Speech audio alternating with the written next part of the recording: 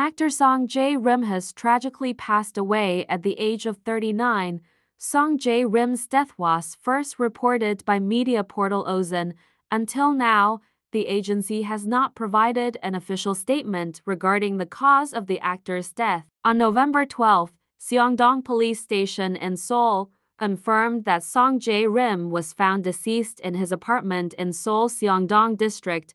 A two-page letter and nicotine concentrate was also reportedly found at the scene of Song Jae-rim's death. While the exact cause of his passing has not been confirmed, a police official stated, at this point in the investigation, there are no signs of foul play.